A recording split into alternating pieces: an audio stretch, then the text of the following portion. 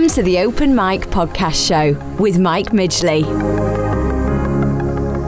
Hey, and welcome to the Open Mike Podcast. And on today's episode, uh, I'm excited to be covering an amazing topic of building remote sales systems. Today's influencer guest is Jeff Butler, the founder of J Butler International. And Jeff was originally based and grew up out of my favorite city in San Francisco, California, although now he's taken a west to east coast trip and is based out of Boston, uh, Massachusetts. So, a great big welcome to the show, Jeff. How are you today?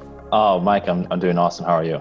I'm absolutely fantastic. So tell us a little bit about the trip from west to east and uh, what brought that about. Yeah. So most people think, oh, why would you make such a big change? Because I grew up in Silicon Valley, I've been there my entire life, went to college there, went to high school there.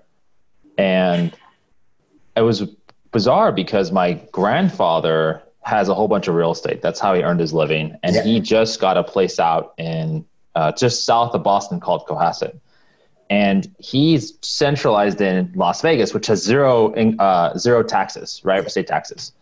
And he doesn't want to move out to Massachusetts, so he has to be here at least less than half of all the days of the year. And he asked me, "Hey, can you watch the place while I'm gone?"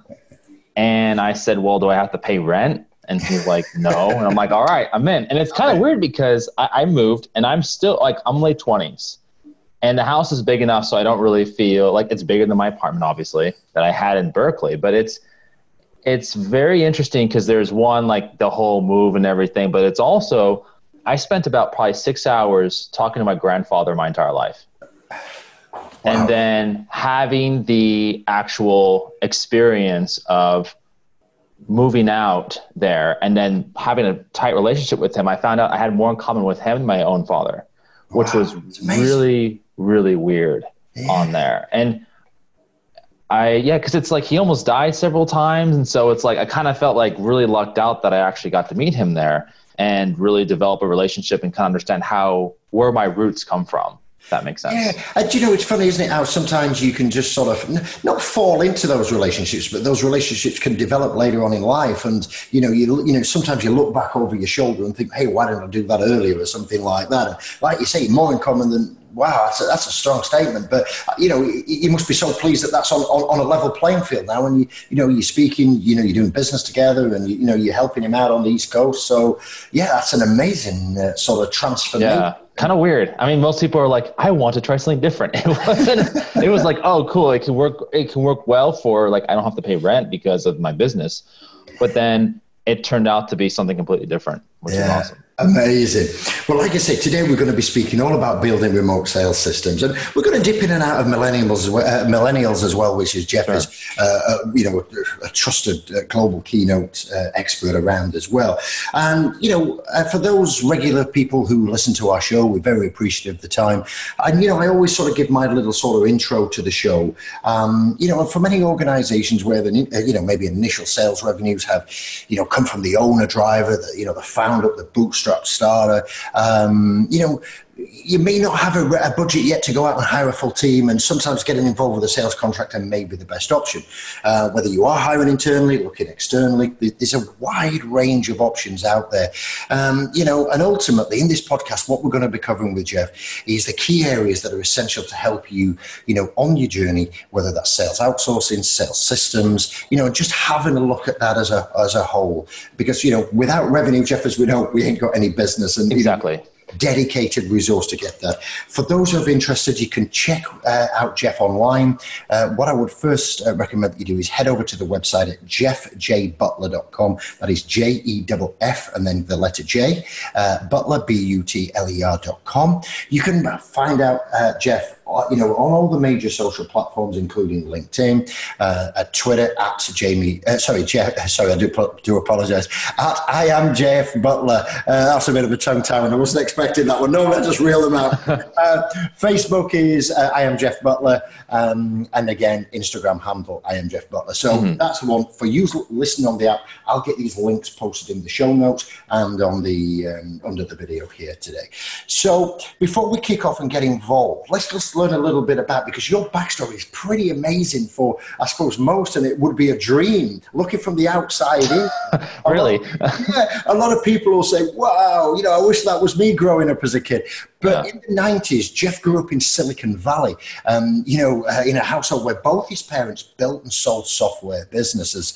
Um, and tell us a little bit more about that, uh, you know, that upbringing in the 90s, Jeff. Obviously, Silicon Valley, we all understand, you know, what it is today. Love to get your view of what it was as a kid growing up in the 90s, um, you know, and, you know, ultimately, uh, what that experience was and how's that served you in later life?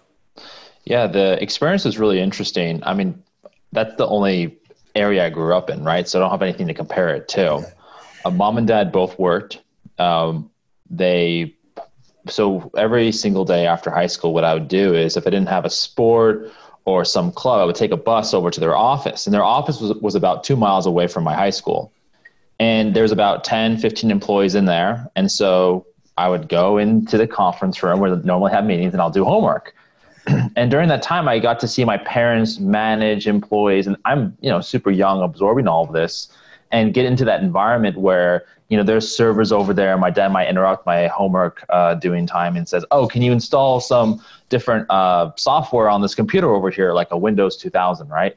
And i would have to do that during that period of time. And so like i mean it, it got pretty hardcore at points where even earlier in my life before I could play my first video game, my dad had me take apart a computer and tell him had to I had to tell him all the different parts to it. Wow. So that was the upbringing of yeah, but it's weird though because you would think both were probably like MIT, Harvard, that kind of thing, but it was actually quite different.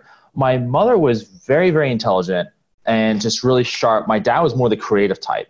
And so he struggled to get into college. When my mom like got into all the different universities, she waited for him, and they ended up both going to University of Pacific, and they both graduated with accounting and marketing. Right. So the reason why I mention this is that most people say, "Wow, you're in Silicon Valley and you know technology." They went to a they went to a community college while having kids and rental homes to learn programming languages. So my mom can code, and so can my dad. And it was more of they saw that technology was changing, so they had to stay fast. with it. Right. And that's why they had me kind of pushing it on me when I was younger. But the weird part is when I went to college, first off, I got in as an athlete. I wasn't, I was training for the Olympics. I didn't care about computer science and I wanted to do business. And I dropped business for computer science Yeah. at that time. And I, and I took the class and I got over 100%. I'm like, oh, I like doing this. And so uh, being extremely naive, uh, I guess a naive 18 year old. I mean, come on, that's very naive. I decided to go into the number two university, like computer science major in all of the United States, right? So we were second to MIT. Berkeley, yeah. Yeah, tied with uh, Stanford. Like it's changes off and on. Yeah. And Amazing. that, yeah, and that's no joke. So that was uh, my introduction to it. You know, when I was in in the university, I got the fifth lowest score out of 300 people on my first final, just destroyed. But at the end, I was near the top of my class. And the point is, is you know, you don't start at the top usually in those spaces. My parents did not start there. They just learned some programming languages, and then they hired their professor to be uh, a software engineer.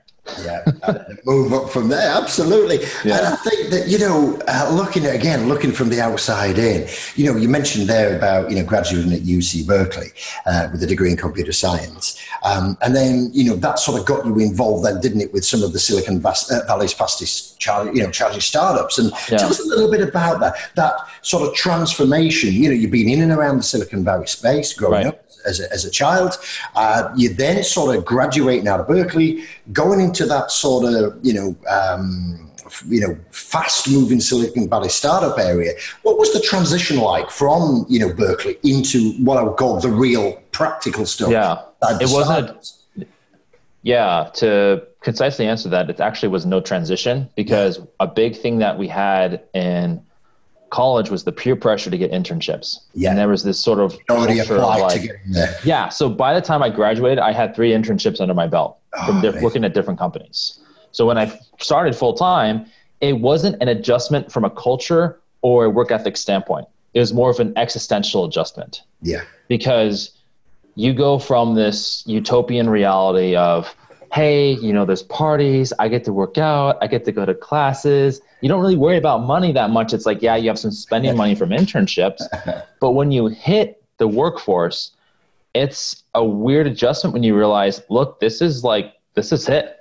this is how you earn money now. There's no fancy real world. party. Yeah, this is yeah. it's a really interesting uh, adjustment. I mean, some love it. Most people, I would say, are terrified by it, and why why they go to maybe masters, graduate school, yeah, and all that to longer. kind of prolong that experience. Yeah. So tell us some about some of the highs and the lows of that, because whether that's in the internship or that, you know, when you went, you know, the work first, you know, full time. What's yeah. the highs and the lows? Because, you know, I speak to a lot of entrepreneurs around the world. Right highly, highly successful like yourself, Jeff, and none of them uh, have just had a plain, you know, sail as you know, as Ryan would say, "Ahoy, ship ahead." You know, there, there, it's none of that. You know, they're sinking the boats, they're, they're underwater. You know, they're, struggling. They get on top, they go back. They have you know wild successes, or in many mm. cases, wild failures as well. And I always love to ask, what is the biggest failures? What is the biggest successes? And what lessons learned, if you want to call it that, from those experiences? I'd love you to share, you know, a few of those with us if you could, some highs and lows.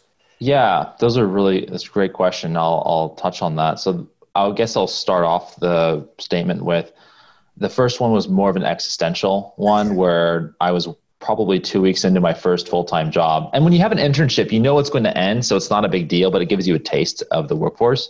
But when you have a full time, you kind of are thinking, well, I could be here for years. Yep. So, two weeks into my first full time job, I was sitting down next to someone who was a lead engineer. I was more of a junior entry level engineer. And we had about 15 years of difference in age and about 70K worth of salary. So, I was earning about 100, he was earning 170.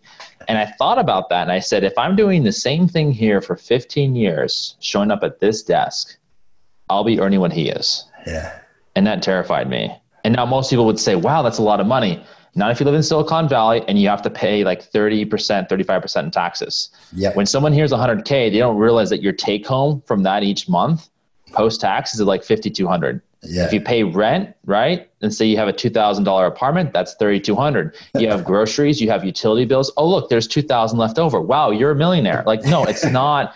It's not that. And so earlier on, my main fear was my parents in the two thousand eight financial crisis had to sell their home, had to give up like sports cars because they just actually had uh, one of their companies acquired and move into a much smaller uh, place. And that was a wake up call because we were like living lavishly and then boom, you know, it was eight years living up to that and then all disappeared in about four months. And I remember that I, regardless of who's in my life, I want to be financially secure. Like no matter what happens, I'm okay, which drove me to start my first company. Now here's where we go into, there's some pain there, but here's more of the bigger pain at 23, I started my first tech company. It was no money raised. It was bootstrapped. It was something similar to what my parents were doing in a different industry. That's yeah. kind of how I knew of it. And about a year into it, we had a, we had a couple customers. It was earning some money, and I thought, hey, I'm ready. I have a lot of willpower. Let me go just leave my job. It wasn't enough money to live off of, but I wanted to do it anyway. Yeah. My parents said, no, don't do it. That's not a good idea. You pay, take your income from your day job and put it into your business. But I wanted to be cool and be like, hey, you know, I have, I'm paying for all my own stuff. And I left. Ugh. So I, after leaving, uh, six months in, I realized that I don't, even, I don't even want to do this. Like, I don't, I don't care about this, even though like, you know, I have an LLC and all this wonderful stuff. And I ended up exiting. I left the company, and it's it was it's still operating today. But I remember having no job, some student loan debt, all the cash that I had saved up from working that full day job, and a whole bunch of time. and I remember thinking, "Oh wow, like yeah, that wasn't very smart. Like, because the bank account goes boom, boom, boom, boom. it just like disappears. And I'm not, I'm very frugal. Like, I'm not going out buying cars or anything or anything crazy like that or taking wild vacations. I'm having like two pairs of jeans, you know, glasses that are all scratched up, you know, like very minimal. Yeah. And it just starts disappearing. And I remember that uh, I went into speaking during that time. We can go into that later. But the pain point of the story is that I ended up burning every single penny of mine and then going into debt ah. trying to start my next company. And I'm probably one of the first entrepreneurs you talk to, or maybe one of a couple that actually had to go back to working in corporate ah. after leaving. And you can imagine like having to sit across from a recruiter being like, uh, oh, so I was just on hiatus for a bit. You know, I kind of just need the money because of my, you know, I have some debt and just, it wasn't pretty right? And I that was a matter of a year time frame period trying to get something to work. Oh, so being like, hey, I'm super cool, you know, I'm leaving to like, oh, this is what it's like to be broke. Wonderful. awesome. Yeah, and you know what? It, it, it's interesting because there's that fear of, oh my god, I've got to go out and get a normal job. You know, as an entrepreneur, oh, that switch, that switch flick, say, hey, I'm going to be an entrepreneur. You've covered that how you did that, but switch. Back in. But you know, I think ultimately, you know, needs must, and you know, it, I think what the lesson the, that I pick out of that, Jeff, you know, I, I, don't know if you agree or you've got a different take on this. Mm. Is that, and for all those listening, you know, uh, on, on the podcast, is you know, it's not a crime to make a decision that you don't want to make if it's the right, you know, reason. Sometimes you've got to drop the ego, you know, and uh, uh, as Ryan and Leonard say. Yeah ditch the act. You've got to say, hey, this is really where I'm at. If I want to get back to where I want to be or was hoping to be by now, then, you know, sometimes you do have to take a step back. You know, it's not about losing. It's not about being defeatist. It's about, you know, making the right decisions. And if you get into that mindset, I mean, I've seen it over 25 years in boardrooms, publicly traded companies, private companies, yep. startups and everything. You know, sometimes people are fearful for making that whatever the decision is, I'm going to hire this employee, you know, fire this employee. I'm going to, you know, you know, my partner who we grew up with, let him go because he's no longer cutting it at the level that we're at. Whatever that is, it doesn't really matter. There is no shame at all in making a decision that actually takes you back, as long as it's the right decision, because it gives you that mm. ability to sort of refocus in and then rebuild up and go forward with clarity. Because otherwise, it just weighs on your mind. And in your case, Jeff, here, that debt was building up, and the ego was wherever it was. You know, I don't mean that in a disrespectful way, but you know, no, no. hey, hey, hey, you know, but that has to go. You know, the reality is you've got to address the key issues in business, and that's yeah. You'd be amazed on how much egos in Silicon Valley, whether it's, hey, let's raise a whole bunch of money, or. I want to look like a cool entrepreneur. Yeah. But it can really take a shot at you. And it's not until I think going broke was one of the most empowering things because you realize what I did didn't work. I have to take responsibility for where I am and move forward. Absolutely. There's no excuses. Yeah, absolutely. And, you know, I, for, for, for regular listeners, you may have heard this statement a, uh, a, a few times, but it, this keeps me in check back in 2012, Jeff, we, we'd got a $20 million, about 12, 30 million pounds UK finance company here in the publicly traded. Um, and we lost it in administration at the height. You know, we were a finance company at the height when the world went bust, really, you know, in, in the height of the recession. Um, and for me, just short of half a million pounds. So again, the dollar rate at the time was, the dollar rate at the time was about $1.70, $1.80. So what is Jeez. that? Eight, $900,000 loss. Um, and literally you you know i feel ashamed i feel i've lost i'm a loser all that type of stuff. But you know ultimately what does it do? It puts things into perspective. Like you say you know we weren't you know yeah you know the, the, the cars went you know we kept his house that was great you know what i mean and things like that. But everything else we just ditched out we've got a bit of money we've got a bit of a property portfolio going and we've got a little bit there. But actually we was asset rich cash mm-hmm. poor and it just literally wiped us sort of out. But what do you do? It, it's that humble sobering thing. And for me, talking yep. about it, whether it's this episode, the next one I did three episodes ago, it just keeps me zoned, dialed into the zone that, you know, about making the right decisions.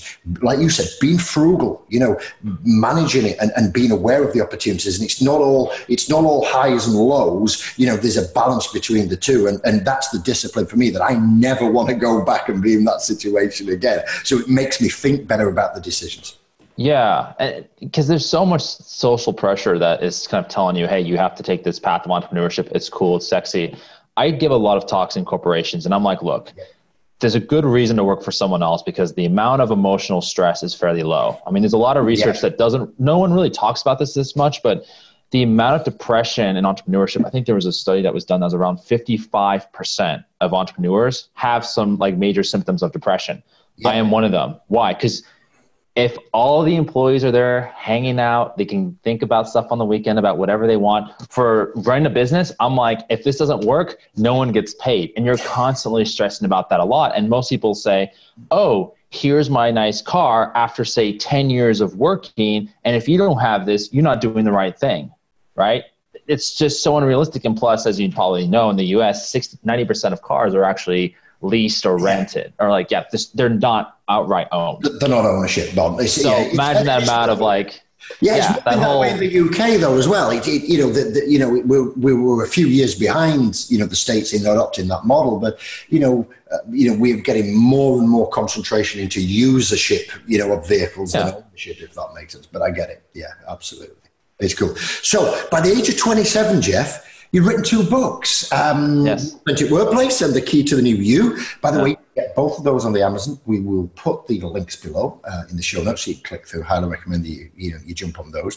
Um, and founded three companies, given TEDx talks, uh, managed to get zero speeding tickets but countless parking tickets, including a towing incident. So by 27, a lot of people, like you say, are either doing masters or follow-ons. I've not even done any of that. You've been in Silicon Valley. We've done this. We've yeah. been up. We've been down. Written two books. Done the tickets you know, well, tell us more about that motivation to write the books and the experience around the TED C, what you gained.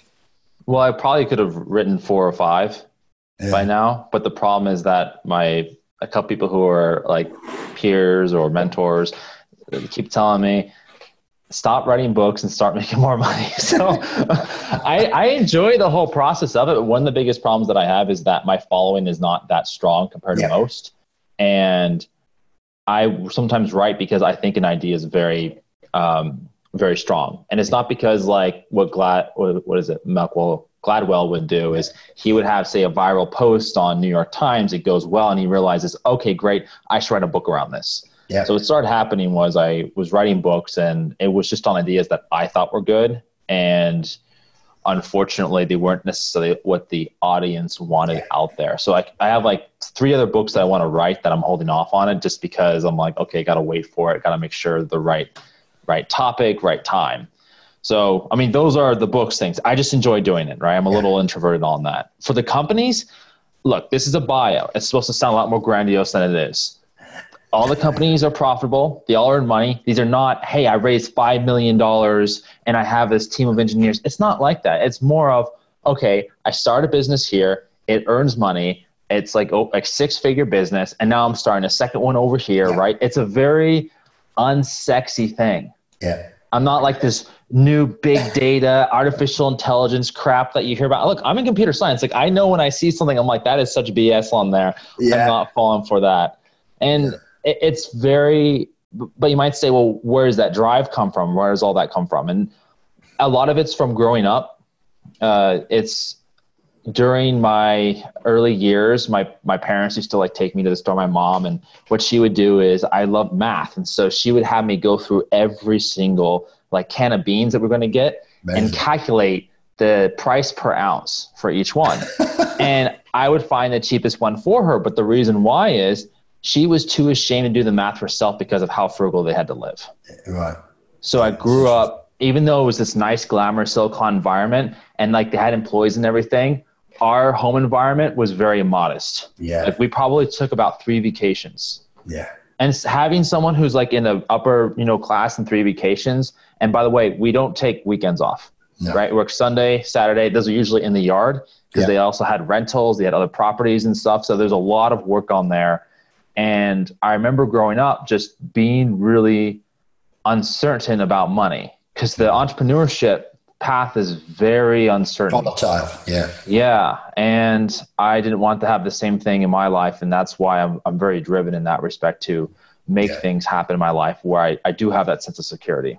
Yeah, do you know what? It's a great way, and you know, for the, for the way we build our businesses, Jeff, and, and you know, and again for the listeners and, and the people watching on the blog, um, whatever the revenue line is, we set our business, or whatever the forecast is, we set our business to operate on seventy percent. So we're automatically nice. but money. You know, we strip the tax. You know, in the UK we have VAT, your estate tax, and things like that. So that comes out. So I'm talking about net. So for every thousand um, dollars, you know, we're setting our business up as an absolute maximum, and I'm talking everything salaries. I'm talking absolutely everything to 70%. So it's always leaving 30% headroom. So if you've got 10, 15, 20% variance, you know, you have a bad month, you miss a client, you lose a client for whatever reason, it should never impact on that cash. So it keeps your cash, you know, reasonably positive. And so if you do, if you don't mind me asking then, sure. so when you have that, that 30% mm-hmm. in there, that's, so that's for the post tax. You take the 30% out and make sure no, it's not being touched. And that's what goes into the business bank account. Yeah. So we, we, we split it. So uh, you heard of Mike Michalowicz uh, on the profit first sort of situation. if you check out that book, and for anybody listening, Mike Michalowicz, I can't actually spell that off, off live on here. Yes, but if you check, if you search Mike motorbike, uh, that's a bit easier to do. Uh, you'll pick up Mike Michalowicz's stuff, and it's uh, profit first is, is the system. Um, and it's using some of the stuff we picked out in Richest Man in Babylon as well, and what Jim Rohn mm-hmm, preaches mm-hmm. about a little bit. But ultimately, I suppose the best way to say it is the net income uh, after any tax, uh, you know, we, we then set our business 30% lower. So, you know, even if we have a, a, a horrible trading period, you know, you know, lose some clients, you know, uh, clients don't pay, they need a bit extra time, and ultimately our cash position stays there. And they're just decisions that you're making, and you may not be able to do that day one in your business. Uh, ultimately, if you know, if you're if you're if you're funding and bootstrapping and, and it, you've got negative income, um, then that's fine. But once you get past that, think about it. You know, a lot of people will maybe then say, "Hey, I'm going to have a salary increase," or "Hey, we're going to get that new car, that new Porsche, right, right, whatever it would be." But then instead of saying, "Hey, well, the business is doing okay, it's got this revenue line, it's making this amount of money," if you were to take thirty percent off that net revenue line and then just say, mm-hmm. "Now, what decision?" Would I get the Porsche or would I get the BMW? Would I get the five bedroom condo or would I get the two bedroom apartment? So it allows right. you stay humble and it allows you to keep there. So ultimately, what you've also got as well, Jeff, and this is, you know, this is assuming that your business becomes profitable. I know yours are, but for the listeners, the business has become profitable. What it also allows you to do is build a war chest. To if you want to go on the acquisition trail, right. you want to do a major investment, you want to go and say, hey, I'm going to launch this new product. I need some R and D, you know, and, and I need to hire somebody to, you know, for three months to do that. You've got cash there, so it allows you to take a lot of opportunities. Um, and ultimately, if you're a lifestyle business, you know, for the listeners out there where you say, hey, I'm not too bothered about exiting and scaling and having multiple exits or whatever, then, uh, you know, you want to take your money now, you can do that and do whatever. But for me, I'd like to build a business, build that equity value, and then obviously either exit out of it or get a multiple on it. And to be fair, as you know, cash is king. And, you know, it just it's just a business model that I like. And it's not always doable. Um, but, you know, in the businesses that we do, we don't really have a lot of debt. You know, people pay in advance, we deliver services, so cash flows in, services gets delivered. So, you know, we are in the right model. So if you've got any questions on that as the listeners, you can always shoot us a message using the hashtag the open mike um, or connect with us on LinkedIn and we'll, we'll get those type of questions answered for you. But that's just something that we jump push in there, mm-hmm. Jeff. And, mm-hmm. you know, I don't know if it's possible to do that, you know, in, in, in all businesses out there, but it, it gets the mind thinking to keep frugal and to live on the 70 and, and just keep 30 there in case. And you can do whatever you want, pay it as dividends at the end of the year,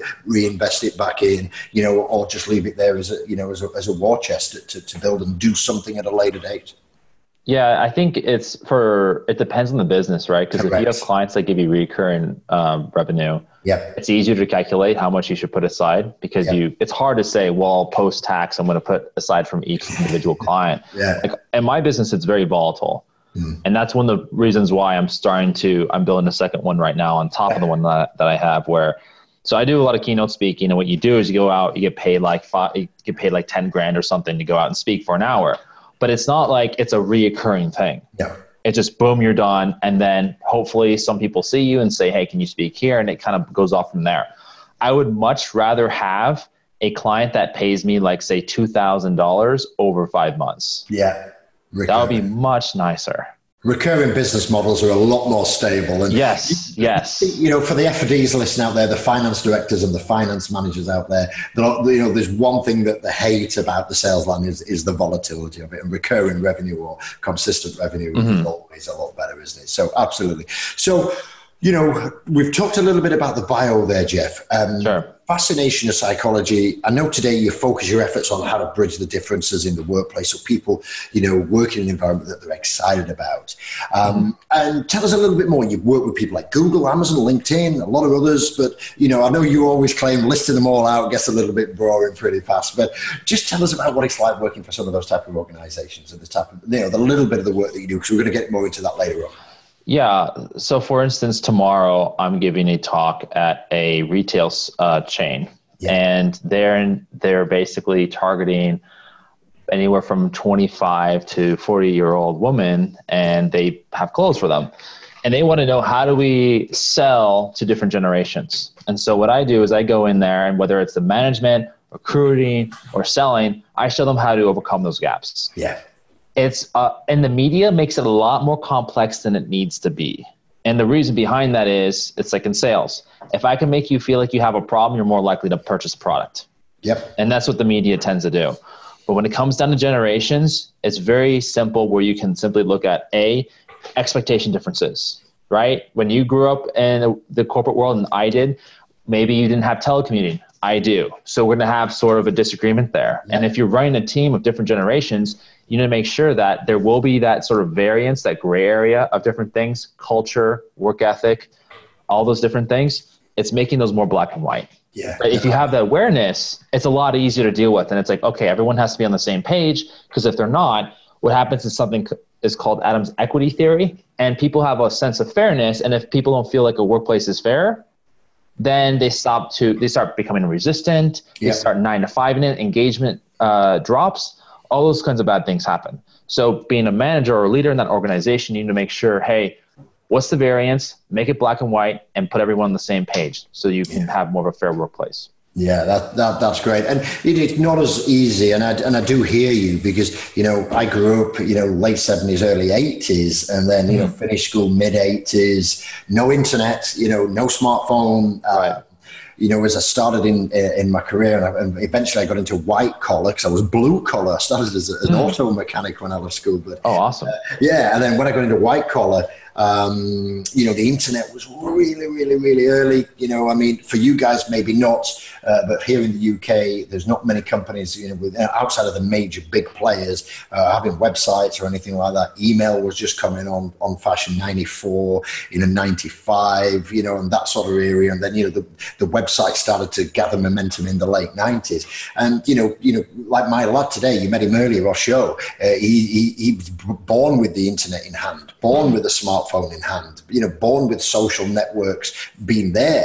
Um, I remember starting a digital agency inside our publicly traded company in, in 2005.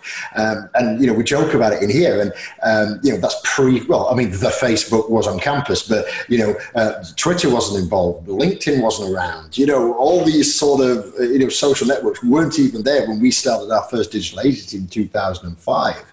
Um, but, you know, we were, you know, I'm supposed a, a modern push out. You know, I'm late 40s now mm-hmm. and I'm a modern push out, but there's a lot of people in my generation who wasn't exposed to that digital arena. And they're a country mile away from where I am now and thinking, you know, both owning and working in a digital agency as well as other things. But, you know, people in the late 40s, you know, they're, they're not that. So it must be te- not not terrible, but it must be challenging to get those millennials coming in or whatever it would be with the sort of people in my generation who aren't tech savvy.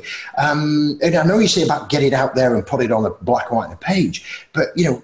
Wow, do, is there a secret to sort of getting them on the same page? I suppose is what I'm saying because I can imagine some of the arm wrestling challenges that I Yeah. Get. There's a couple of, I wouldn't say secrets because a lot of the things that people do to get others on the same page yeah, is standard management theory. yeah, let's say that you have an issue between um, someone who's more senior, Yeah. who's a baby boomer, and a younger employee, and it's a matter of a new technology.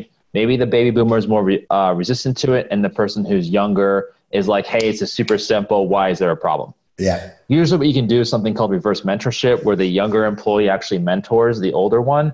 And the benefit to that is you actually have the older employee is able to teach the younger one simply by their presence, leadership, and uh, management skills, yeah, right? Prepare them for that. And that's something that Jack Welch, the past CEO of General Electric, really popularized.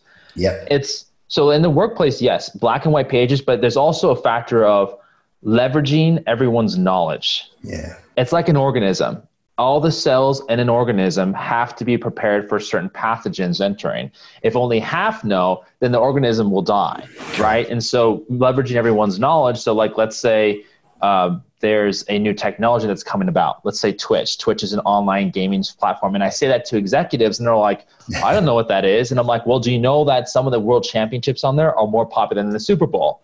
They're like, no. And I'm like, well, you might want to be updated with that. And so it's leveraging that knowledge that, say, younger employees have and putting it in the hands of more senior leaders because they know what to do with a good idea They just might not be aware of all the ideas. Yeah, that's right. I love the reverse mentorship tip, uh, tip as well because sometimes they can feel that the nose is being pushed out, but that is a great strategy. Love that. Thanks yeah, for sharing that. It comes down to a lot of management where so when I sit down with employees and I talk with them on one-on-ones, the areas where I get the best ideas for the company come from people in the front lines. Yeah, absolutely. We'll say, hey, why don't we use this new CRM that does X, Y, and Z? Or why don't we try and optimize in this step of the uh, sales funnel? And I'm like, I didn't think about that because I'm not doing that job 40 hours a week, right? I might have, but that's that's sort of the area where you you start opening up those communication channels yeah. And that's where you can have companies that, sh- that thrive, but they have people have to be necessarily open to that, yeah. which unfortunately is not as common as we would like. No, absolutely.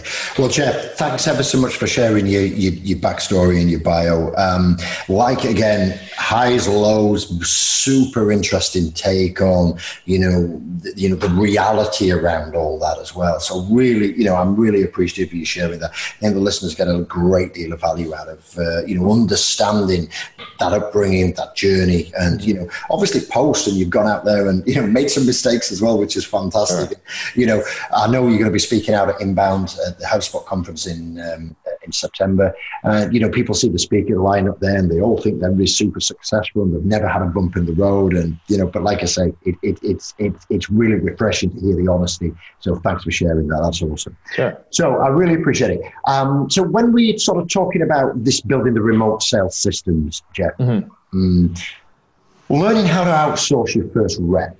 Um, how do people go about that? Pretty simple. First off is understanding what they actually want to outsource. Yep. Now there's this, this a very easy one is a repeatable activity. For us, it was collecting emails. Yep. Now someone would say, "Great, that's really easy. Uh, you just go into LinkedIn and search people with this name." It's not that simple. Yeah. What you need to do is when you're performing a particular task that you want to outsource, you need to write down every single individual step that you're doing.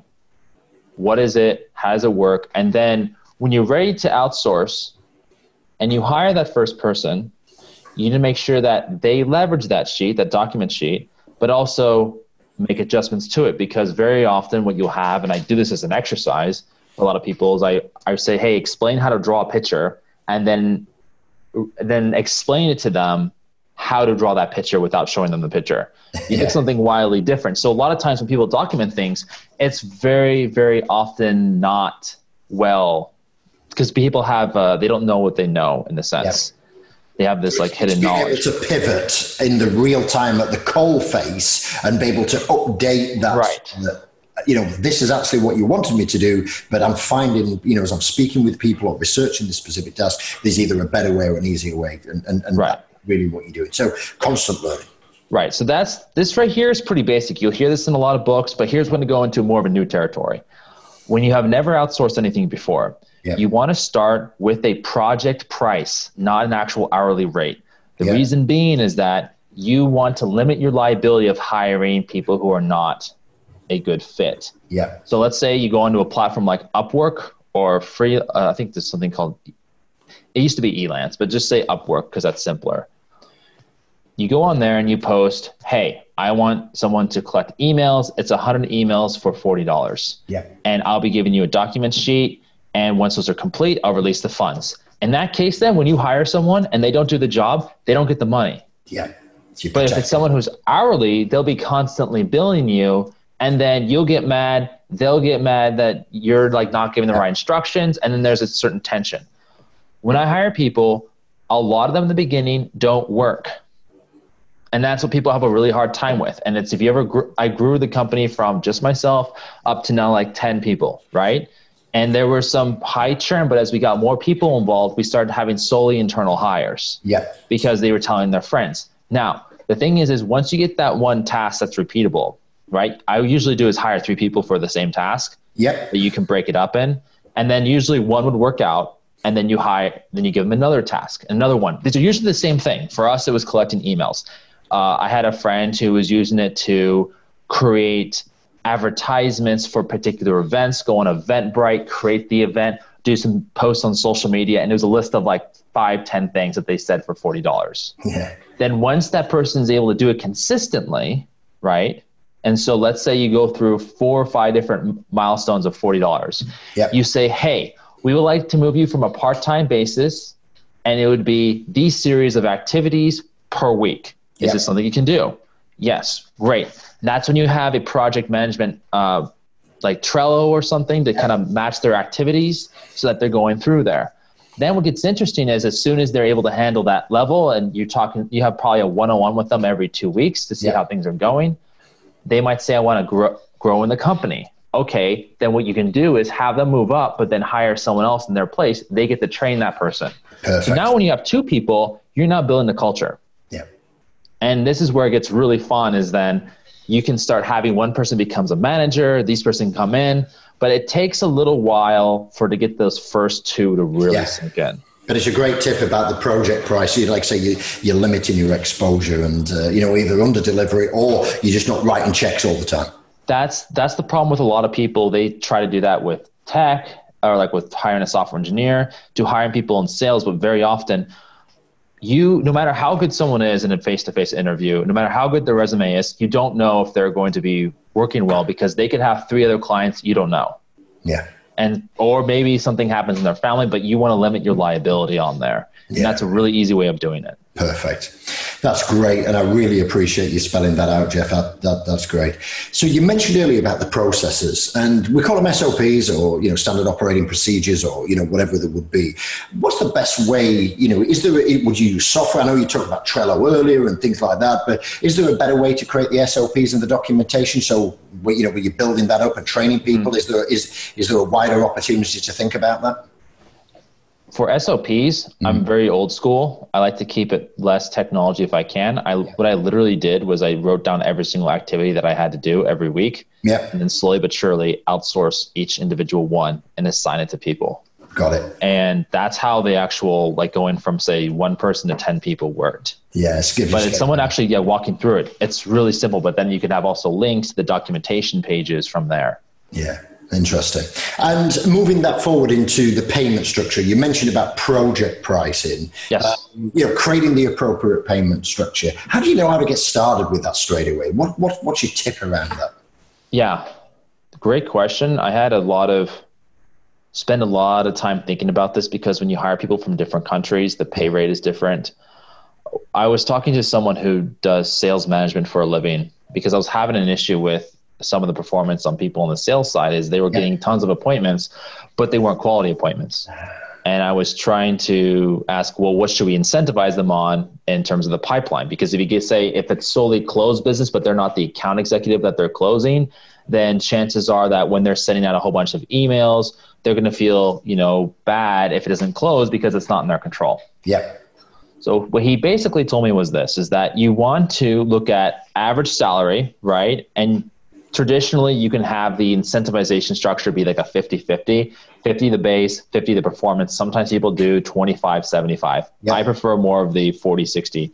40% is the base, 60% is if they hit 100% of their quota, that is um, above average salary, right? Not a massive, but it's above average for the hours that they put in.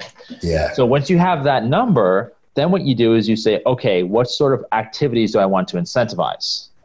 yeah, And from those activities, what you tend to do then is say, okay, they need to get, say, 10 appointments a week or five appointments a week. Yeah. Okay, great. Um, and how much business do we need to sort of quote in that period of time? Like when you're trying to find new people uh, for investing, how much money do they have? And then eventually, how many of those close? So you have to have that previous data in order to map out how much it should be of the business pending and also the closed. Here's where it gets sort of interesting is that when you have reoccurring uh, revenue or when you have extra like cross sales, right? That gets a little bit more complex on there. But what I would do is I would take the salary, map out the actions where they have to basically have their position be a at least a 10x ROI for them, or maybe like seven to 10x. And then from there, you'll be able to take that commission side and then break it up into how many activities are needed. So let's say if there's three closed uh, business deals that will meet their monthly salary, then you say, okay, so then it's say uh, they need a hundred dollars for their commission or thousand dollars for their commission.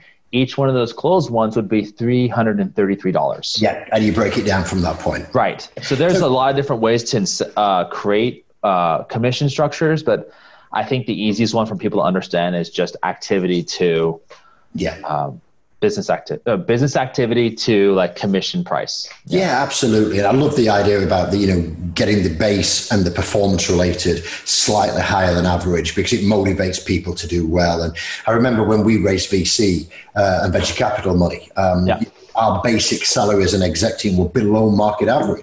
And I was happy to take a below market average base salary because the performance was, you know, right, you know right. 30% more. So if we hit target and did what we said we were going to do, then ultimately we'd earn 30% more than what we would have done if we'd done it the other way. And the VCs loved it because it was lower risk for them on cash and executive pay burn. And we were all motivated to, you know, hit the numbers, which it, it worked really, really well. So slightly different example because that's not, not right. VC, but I understand the, the weight in it to the performance and motivating people to earn more than what they could do if they do what you expect them to do.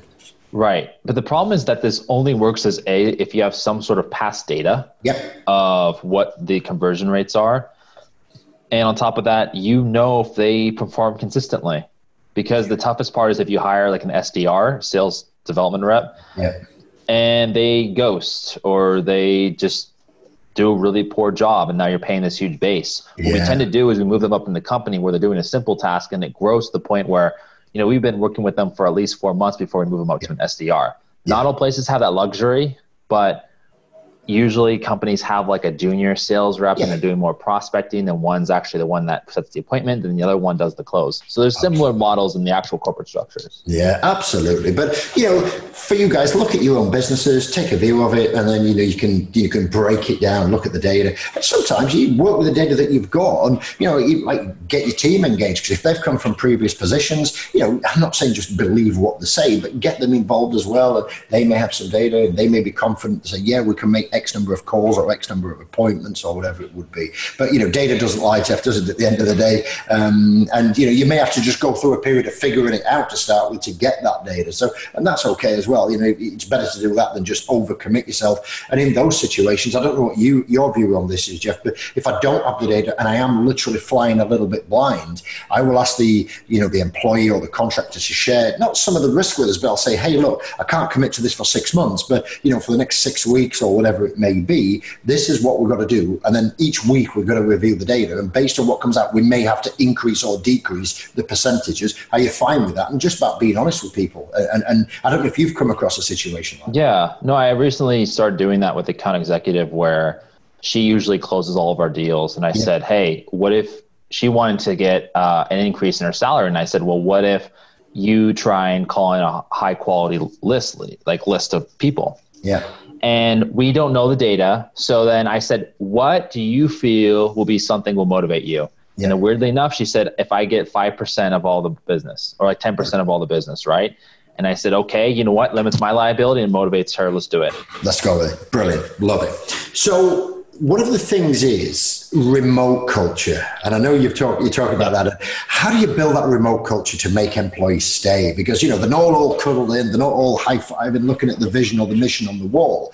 Um, right. How do you approach that? You know, I know you touched on it earlier about um, you know building hiring, yeah. up and hiring and things like that, and then you've got the you know all those sort of comments around that. But is is is, is that it, or would you say there's there's another skill to sort of building that culture?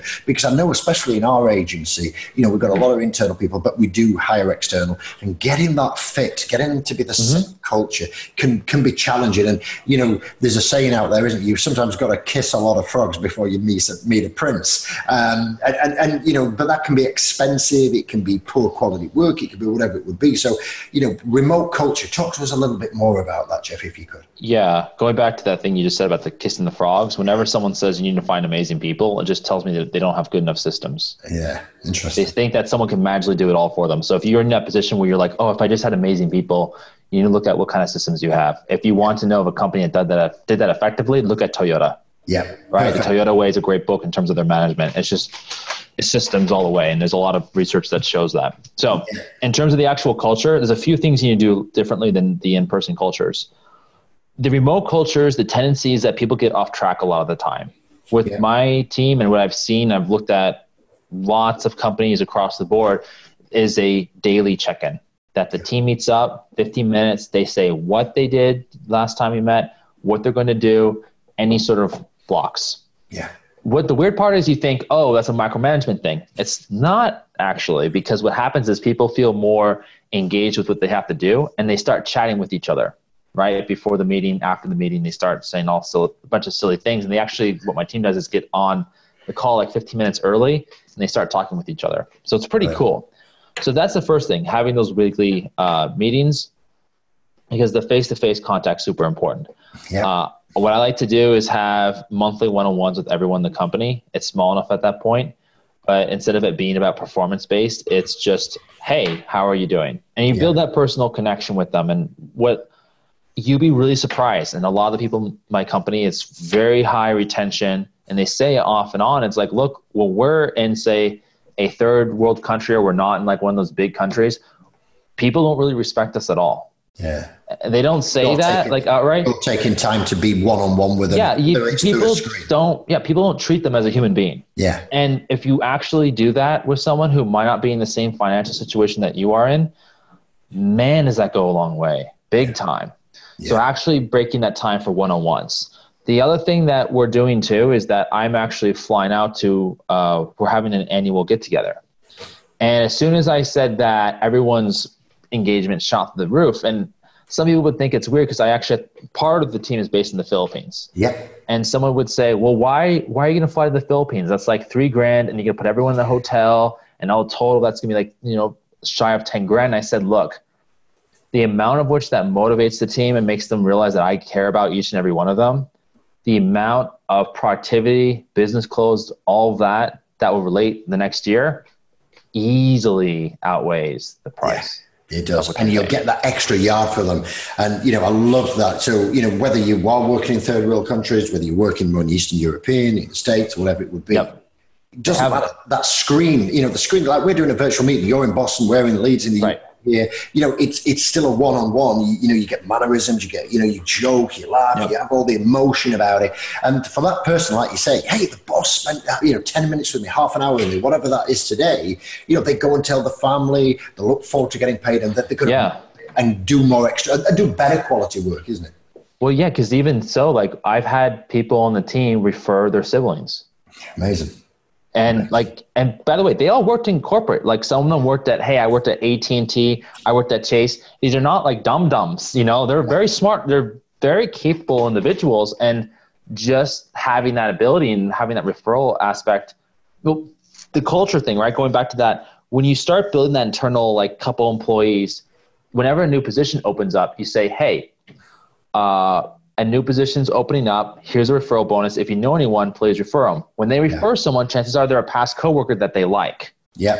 And then they come into the company. They're excited because they know people, similar culture, and they start adding people Yeah. in there. And right that's, now, that's part of the career progression opportunities, isn't it? Which, which, you know, like you say, if they're referring the buddy into the system, they don't want to be bringing anybody in who is going to be, you know, a deadbeat or even a rotten apple culture. You know, they only want to be bringing people in who was going to be, you know, elevating and, and at their level. I'm assuming.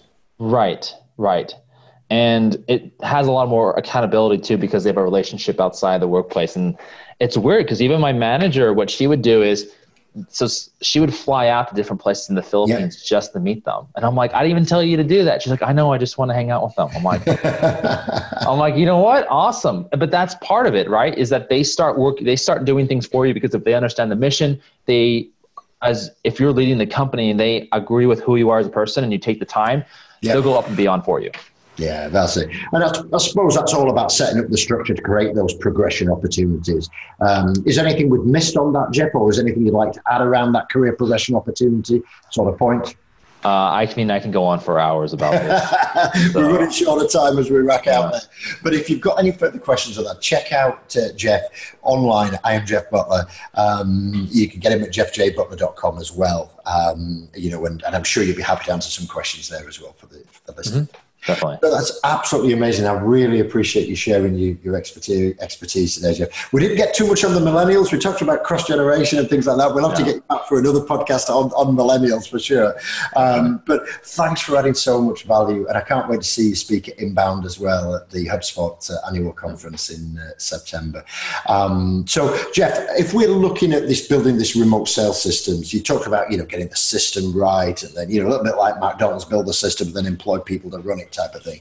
Uh, it, it's a little bit of that sort of example. But if you were to summarize all this up into sort of three sort of pro tips for somebody looking to get started with that, how, how would you break that down for them? Focusing on performance based in the beginning. Yeah. Make sure you document all the process of you doing the activities. You have to do everything in the business at some point. And three, when you're building the culture, focus on internal referrals because that's where you're going to get the highest level of retention. Yeah, that's really, really important, isn't it? It's good. So think about it being performance based, document the process, do the work yourself. Don't just expect somebody to do that. You know, you know, iron it out, iron the creases out, and then go out and put that out there, and then you know, focus on the internal referrals. Jeff, it's been an absolute honour and a pleasure. Um, I've learned so much from you today. My show books uh, notes are full. Uh, I'll be busy writing up after that. It, has been an absolute pleasure. Thanks ever so much indeed for joining us today. I've, I've really enjoyed it. Thank you. No problem, Mike. No, happy to be on. Pleasure. So, as always, you know, as I say, you we appreciate you continuing your growth engine development, listening and taking time out. We'll put all the show links and the website address and uh, all Jeff's social media posts in the in the show notes below and on the app. And as always, to get in the game, go do the hustle, go make it happen, and we're going to catch up with you on another Open Mike podcast real soon.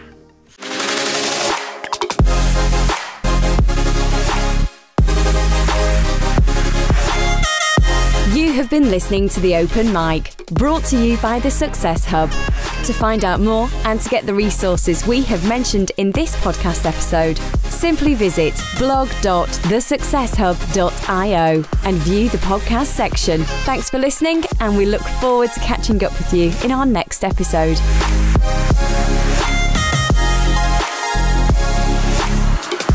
This podcast and associated materials is published under copyright to The Success Hub. All rights reserved. No reproduction of this material is permitted.